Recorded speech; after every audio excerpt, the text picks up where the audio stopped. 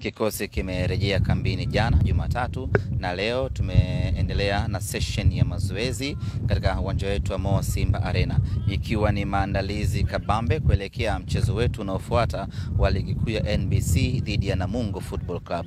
Mechi yetu dhidi ya Namungo itachezwa siku ya Juma Alhamis, kwa maana ya tarehe tisa ya mwezi wa 11 katika uwanja Uhuru, na nichukue nafasi hii kuwaalika wanasimba eh, kuja kwa wingi katika mchezo huo, tuje tuione Simba yetu.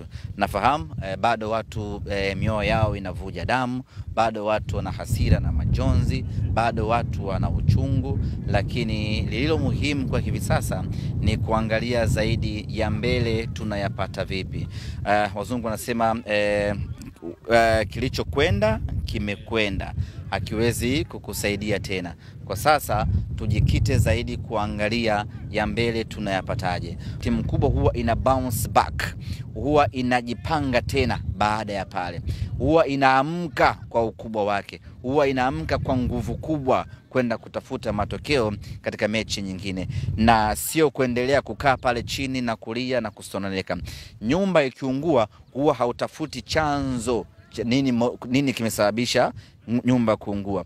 Kwanza unazima moto, alafu baada hapo utaja kukaa uangalie nini kimesababisha moto kutokea. Kwa hiyo nichukue nafasi hii kuambia wanasimba ya kwamba tunakubali tumefungwa dhidi ya mtani wetu, tuumie tunavyoumia, lakini lazima tuamke na kusonga mbele. Ambacho kiko mbele yetu ndio muhimu zaidi kuliko ambacho tumekipoteza. Kwa niwaambie wanasimba wawe watulivu, eh, wawe watulivu, watuamini viongozi. Tunafanya tathmini ya kuona ya kwamba wapi tumekosea ili tufanye maamuzi sahihi.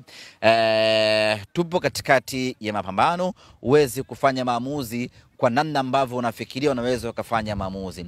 Ukisimamisha kwa mfano wachezaji kumi, kumi na mbili, kumi na ngapi, wakati juma ngapi una mechi, na wakati huo huo huna taarifa sahihi e, pengine ni hisia tu zimekujia. Kwa hiyo wawaache viongozi ama watu wache viongozi e, na Simba ina viongozi e, waadilifu sana ina viongozi makini wa mpira ambao wataifanya kazi yao kwa ufasaha kwa maslahi ya Simba Sports Club.